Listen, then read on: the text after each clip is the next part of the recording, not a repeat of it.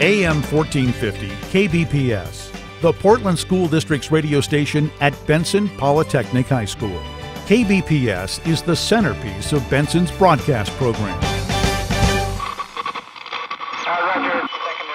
KBPS has a long history in Portland. In early 1923, students from the Benson Radio Club spotted a for sale sign on a radio transmitter in the window of Stubbs Electric in southeast Portland. They talked the Benson faculty into buying the apparatus. On March 23, 1923, a license was granted and the call letters KFIF were assigned. Over the years, the station grew and improved. In 1930, the call letters were changed to KBPS for Benson Polytechnic School. From 1946 to 1992, KBPS was under the leadership of General Manager Dr. Patricia Swenson. Dr. Swenson helped pioneer educational radio in the United States and won numerous awards for those efforts.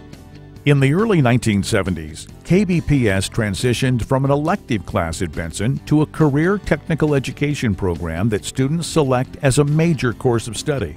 Students in the program learn all aspects of broadcasting from a curriculum that has been developed and refined for more than 40 years. Sales, marketing, promotion, uh, commercial production and writing, news, and they also learn how to be on the air and uh, do an on-air shift as a DJ. Right now it's mostly cloudy and 43 degrees here at AM 1450 KBPS. Despite radical changes taking place in broadcasting, the KBPS program is keeping pace. We're teaching uh, students audio content creation.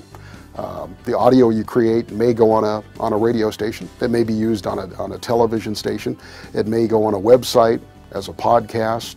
What students learn in the KBPS program can lead to a career. KBPS graduates acquire the skills they need to be successful in a variety of media careers in radio, television, even the movies. They get to the Tree of Souls, it's over. That's their direct line to Eywa, their ancestors. They'll destroy them. KBPS nurtures creativity, which for some can become a passion. My name is Bruce Murdoch. I graduated Benson in 1971. Uh, I was a radio broadcasting major and I started working in radio broadcasting when I was at Benson. And I have uh, so far never not, not been in radio broadcasting. Bruce Murdoch knew from the moment he saw the KBPS broadcast tower that the Benson High School radio program was what he wanted to do. His experience at KBPS led to his first paying job in broadcasting when he was only a sophomore.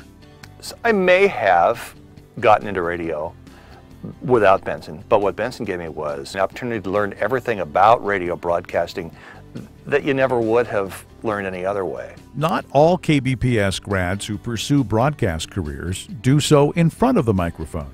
The instructors at Benson at KBPS have worked in the radio industry themselves, so they know firsthand uh, what to expect and how to teach the curriculum to the students so that they'll be more uh, ready to work in the real world. Here's Miller with the ball for the Warriors, crosses the midcourt stripe. In addition to the broadcast curriculum available to students at Benson, KBPS offers a sportscasting program which is open to all high school students in the Portland district. And Neighbor scores two, and it's again a seven point lead.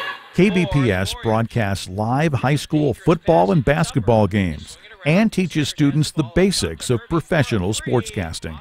Students in the broadcasting program at Benson also have the opportunity to be involved with Skills USA, a career technical education organization that teaches leadership skills and allows students to compete against their peers in their CTE area.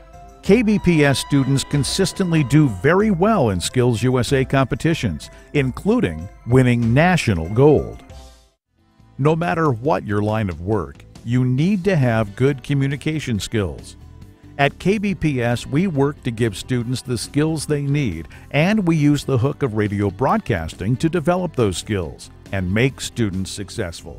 From everyone at AM 1450 KBPS, thanks for watching.